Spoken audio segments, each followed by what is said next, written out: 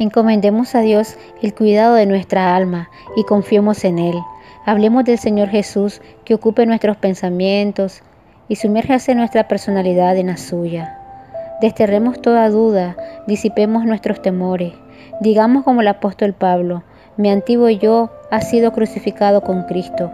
Ya no vivo yo, sino que Cristo vive en mí. Así que vivo en este cuerpo terrenal, confiando en el Hijo de Dios quien me amó y se entregó a sí mismo por mí.